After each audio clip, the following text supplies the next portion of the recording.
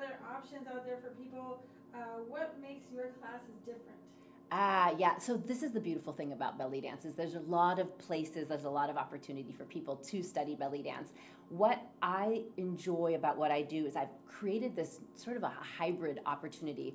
After the during the pandemic, I went online as many people had to, and luckily I had the whole studio set up and I was able to continue offering classes for people even when we had to be at home. And what has grown from this is an opportunity to do not only in-person classes with me here in Houston, but if you're not in Houston, you can actually come to my online studio and I offer on-demand classes, I offer in-person classes, and I offer hybrid classes that give you the opportunity to study in your own home, to be comfortable in your own space, to feel, you know, good and uh, and safe in your own arena, but then we get together online on Zoom with dancers from all over the world, and you get to create that community and have the opportunity to connect with other people who love the art form too. So it really is a holistic dance experience that creates, you know, live classes, recorded classes, and community to give you an incredible learning environment. So, what makes you so passionate about this? You know, belly dance, it's funny to think about, you know, why I'm so passionate about belly dance because in the beginning it was honestly something I was doing for fun. I was doing it, you know, for exercise, for creative expression. I thought, "Oh, this will be cool," right? I saw it at a nightclub and I thought it would be awesome to learn. 23 years later, I realize what a powerful force it is for, for everyone. Most of my students are women, but all genders are welcome in my classes. It's a very powerful force for people to not only learn about another culture, because it does come from the Middle East, it is something that is tied to a culture, but to get to know their bodies in a way that we, as sort of a a society tend to forget about. We tend to live inside our heads. We tend to think, you know, with our brains, and we don't trust our bodies. We don't listen to our bodies. I have realized that when you allow people the opportunity to kind of explore, and especially for adults, to let them be newbies again, to encourage people to have that beginner mindset and just go out there and, and have fun and learn a new skill, it really unlocks something in them that gets them excited about life, that gets them joyful to come into the studio. And it's that transformation that makes me positive and very excited about what I do. So, if you could describe the person or type of people that could benefit the most from belly dance, who would you say that would be? Oh, good question. So, I honestly feel like everyone could benefit from belly dance. And I actually I got a call just the other day from a gentleman who wanted to come to class. He had called around and there were a couple of different studios that had told him that he couldn't come because he was a man.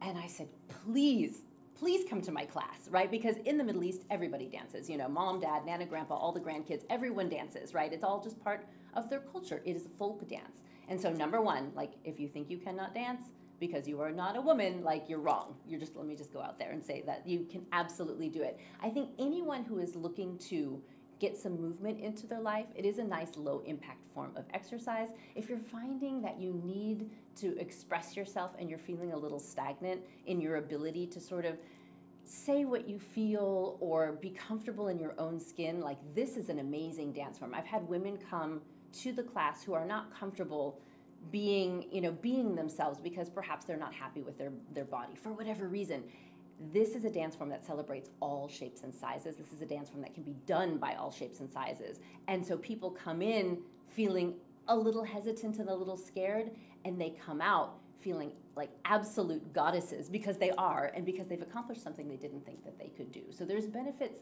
for everyone in this dance. So what would you say is the biggest misconception people have about belly dance? Oh, there's so many misconceptions about belly dance. What I think the biggest misconception about this this ethnic art form is that you have to be a certain person to be able to do it. That you have to look like Princess Jasmine to be able to do it. That you have to be, you know, you have to have long hair, and you have to be thin, and you have to be young. The majority of my students are in their 50s and 60s. Most of them have no intention of going out on stage and becoming a professional dancer, but almost all of them perform, right, in our, in our student showcases and our student haflas, which are just like uh, shows that we put on for just the students. And I think that what they've realized is that they don't have to be this unidentified, you know, mysterious woman to be able to do this dance. It is for everyone. And so I think people are hesitant to come to class because they feel like they're not thin enough, or they feel like they're not young enough, or they feel like they're not coordinated enough. And I'm here to say that that's just not true. Like it is my firm belief and it is my utmost desire that people come into their own and realize they have absolutely everything they need to do this beautiful art form and to learn it and to embrace it and to enjoy it and to benefit from all of the incredible elements that it'll give to you. So there are a lot of things out there that promise magic results. What would you say is a realistic expectation for someone considering belly dance? If you want to come to belly dance class and you want to become a professional dancer, right? I have people call me all the time. They say, How long will it take me? How many classes do I have to take to become a professional dancer?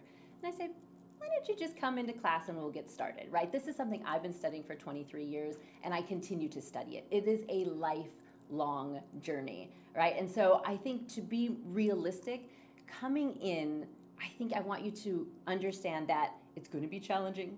You're going to stand in one place and you're going to sweat a lot for some reason because it's really hard on the muscles. It's really fantastic. It's a great way to um, to challenge yourself. And I feel like as we get older, we tend to shy away from things that we cannot do easily. But it's a great way to open yourself up to that potential and to that mindset and you will see results. I see students, you know, they they they tone up, they gain confidence, but even more important than that, they find something they're excited about, they find a place they feel comfortable in, and they start to feel more comfortable in their own bodies. And I, so I think realistically, come to class, do it at least once a week. If you want to get good at it, you're going to have to practice outside of class, but I always give my students lots of online resources to do that. And so you're right, there's no magic bullet, right, depending on what you're looking for. But if you want to find a way to really get in tune with your inner self, to learn to create and express yourself in a way that feels good and natural, this is a great place to be. You mentioned your journey. So, on your journey to creating what you have would you say there is something you would have done differently? If so, what would that be? You know, I feel like I wish I had come to this dance sooner. like the only thing I would do differently is do it earlier. I didn't come to this dance until after I had graduated from college. I was already, you know, an adult and working as an engineer. But I do also believe that timing is everything. And I tell my students it's never too late, right? So I have a lot of students who are are interested in the dance, but they're like, oh, you know, I'm 60, like you can't teach this old dog new tricks, and I'm like, I'm going to prove you wrong. Come into the studio and let's check it out, right? Because I think that people feel like beyond a certain point in life, there's no more new to be had, right? We get into our routine, we get into a rut, we do the same things every day, we stick with what we know. And there's comfort in that, but as human beings, we need variety. We need stability, which we have in, in full, right? But we need variety, and variety that you can control, right? Some variety we don't like as much because it's a surprise, but this is a variety that you can bring to your life, no matter where you are, that is going to give you energy. It's going to give you enthusiasm. So I don't want you to think that you cannot start because you're not the right age. So if I could have come to it sooner, I would have. But even if I were starting today, it would 100% be worth it. So I already want to go to your studio. Yay! what would you say makes you the most qualified to teach belly dance to others, though? Like, what makes Sahira belly dance different? So I've been studying this dance for many, many years, but I will be totally honest that I am not of Arab descent right? I have gone to the Middle East. I've studied with people there. I have, you know, studied and traveled and learned as much as I could. When I first started teaching, I actually wondered, like, am I qualified to do this? And there's a lot of, it's very easy to, to doubt yourself when you start any new endeavor. The more I have learned and the more I have traveled and the more I've had the opportunity to connect with people, the more I realize I'm right where I'm meant to be. There are many places to study belly dance, and I'm so grateful for it, and I feel like there's room for all of it and I think that there's an instructor for every person. You've got to find your person. You've got to find the person that makes you feel good, that encourages you, that can be your cheerleader. And some students who come through my door have been to other studios and they've been like, oh, you know, it was fun, but it wasn't quite right, or it wasn't the energy I was looking for. I find that I, as a mother, I have a small child. I tend to be like rah rah cheerleader. I'm always encouraging my daughter, and I'm always encouraging my students. I call them my shimmy babies. They are my babies. I have dozens of babies. They're all older than I am, and a lot of them are older than I am. And I cheer them on in a way that really gives people hope. It gives people confidence. And I think sometimes it's that little extra push we need. Once we're adults, there are very few people cheering us on. But I'm here to cheer you on and to tell you you can do it and to encourage you to learn a new thing. And so I think people looking for that little boost in life I am a perfect place to go. So let us know how we can find you on social. What part of town are you all in? Yeah, so if you're in Houston, my studio's up on the north side of town at Nia Moves, just uh, just in the Heights. But you can also find me online. I teach a ton of online classes and have an online membership, and you can learn all about it at SahiraBellyDances.com.